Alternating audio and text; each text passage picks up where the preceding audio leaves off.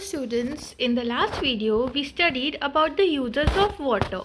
How and where do we use water? In this video we are going to see from where do we get water. हमें water कहाँ से मिलता है? That means the sources of water. There are many sources of water that we are going to study today. First let us see what are the types.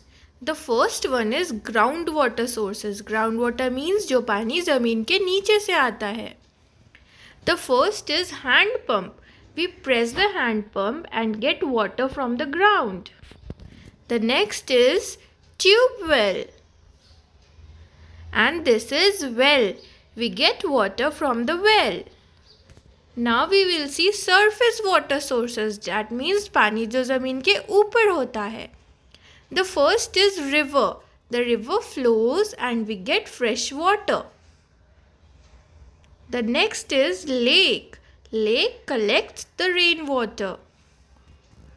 The next is pond. Pond is a small water source.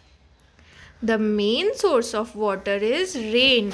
बारिश अगर बारिश नहीं होगी तो हमें पानी नहीं मिलेगा The rain water gets collected and we use them and at home we get water all these sources through pipelines and tap.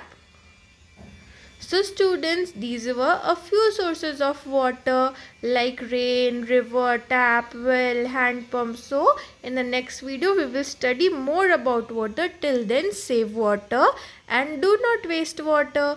Thank you for watching